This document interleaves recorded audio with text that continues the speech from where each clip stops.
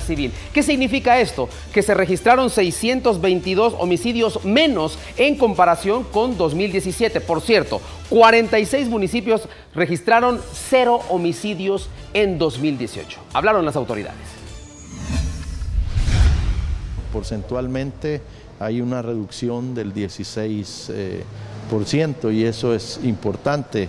Eh, también eh, el mes de diciembre es importante destacar que en el 2017 habíamos tenido 343 homicidios y este mes de diciembre de 2018 cierra con 262. Que es importante destacar que también hay una disminución en los feminicidios.